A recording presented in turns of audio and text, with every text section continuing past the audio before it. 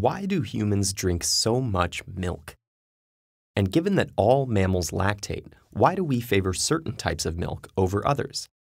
Milk is the first thing we drink, and thanks to developments in the production and variety of dairy products, it can take on countless forms for our dietary and sensory well being. Milk's primary function is as a complete source of nutrition for newborns.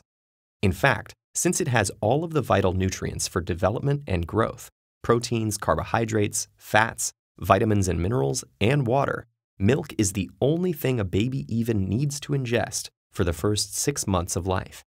The unique makeup of milk can vary depending on factors like species, diet, and location. Reindeer of the Arctic Circle, for example, make energy dense milk that's about 20% fat, roughly five times more than human or cow's milk, to help their young survive the harsh freezing climate. So, how is milk made? In the uniquely mammalian process of lactation, a special class of milk secreting cells, known as mammocytes, line up in a single layer around pear shaped alveoli. Those cells absorb all of the building blocks of milk, then synthesize tiny droplets of fat on structures called smooth endoplasmic reticula.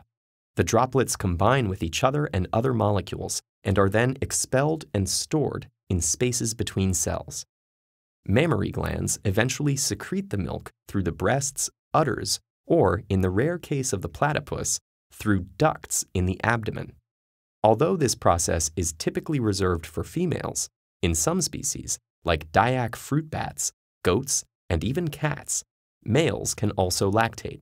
Milk drinkers worldwide consume dairy from buffalo, goats, sheep, camels, yaks, horses, and cows. Almost all of these species are ruminants, a type of mammal with four chambered stomachs that yield large quantities of milk. Of these, cows were the most easily domesticated and produce a milk that is both easily separated into cream and liquid and has a similar fat content to human milk. In their natural environment, mammals secrete milk on call for immediate consumption by their young. But with the demands of thirsty consumers, the dairy industry has enlisted methods to step up production, enhance shelf life, and provide a variety of milk products. In the dairy, centrifugation machines spin milk at high speeds, forcing less dense fats to separate from the liquid and float up. After being skimmed off, this fat, known as butterfat, can be used in dairy products like butter, cream, and cheese. Or it can be later added back to the liquid in varying proportions to yield different fat content milks. Full fat milk, sometimes referred to as whole milk, has 3.25% butterfat added, compared to 1 to 2% for low and reduced fat milk, and less than half a percent for skim milk. To stop re-separation of the fat from the water, or creaming, the mixture undergoes the high-energy pressurized process of homogenization. Before milk hits the shelves, it's also typically heat treated to reduce its level of microbes, a government-sanctioned process that raw milk enthusiasts argue may reduce milk's nutritional worth. Milk spoilage is started by microbes, which consume and break down the nutrients in milk. That process causes butterfat to clump together, leading to a visually unpleasant product. And the byproducts of the microbe's consumption are compounds that taste and smell nasty. But there's a bigger problem. Raw milk can carry microbes that are the sources of deadly diseases. So, in order to kill as many of those microbes as possible and keep milk fresh longer, we use a technique called pasteurization. One version of this process involves exposing milk to about 30 seconds of high heat.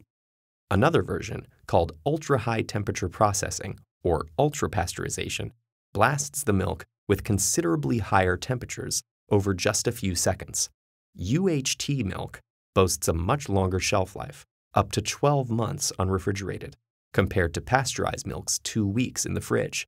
That's because the higher temperatures of UHT processing inactivate far more microbes. Yet the higher processing temperatures may adversely affect the nutritional and sensory properties of the milk. Ultimately, that choice lies in the consumer's taste and need for convenience.